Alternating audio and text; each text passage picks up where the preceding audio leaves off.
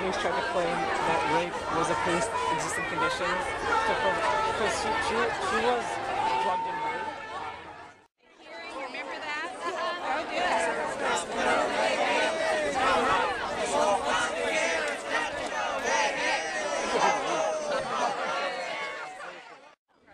Come on, Ron, step up. The whole, The majority of Americans want single payer. The majority of physicians want it, but we've been sold out by Democratic front groups that are pushing for, uh, private insurance on people. So this, so this woman is a supporter of a single payer system, Right. and I understand that.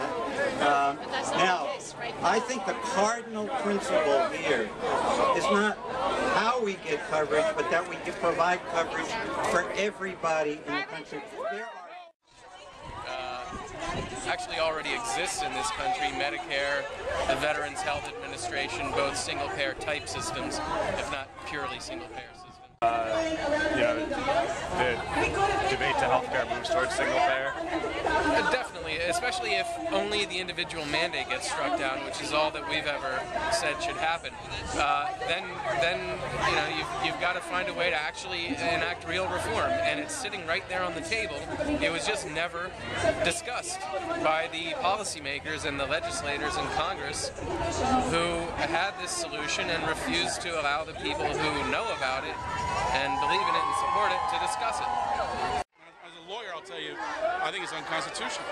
You can tax for the general welfare, but you can't force people to buy a product in the Commerce Clause. That's taking it way beyond even the broad extreme we're already at.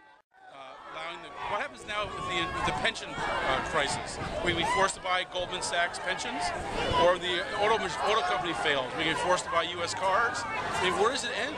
And so forcing people to buy a product is unconstitutional. It's bad policy, especially when you have an alternative that's proven, like Medicare, which provides health care to everybody over 65, controls costs, and produces good outcomes. Why did we go to that rather than give the insurance industry, which is the worst part of our health care, all that power?